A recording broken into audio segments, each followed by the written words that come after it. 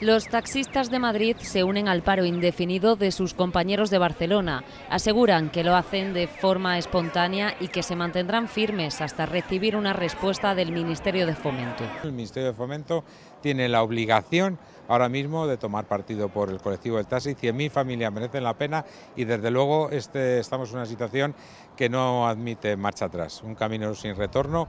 El taxi de España ha salido a las calles y no volverá hasta tener una respuesta satisfactoria.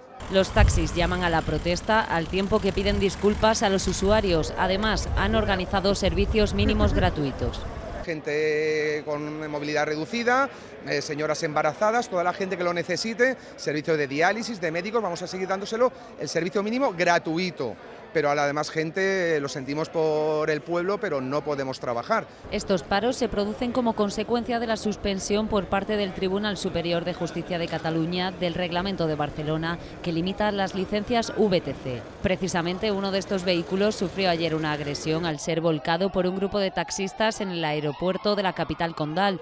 La asociación Un Auto VTC ha denunciado las agresiones sufridas en los últimos días y califica los paros de los taxistas como un chantaje por este motivo pide al Gobierno que actúe. Urgimos al Gobierno a que recupere el, control de, las calles urgentemente.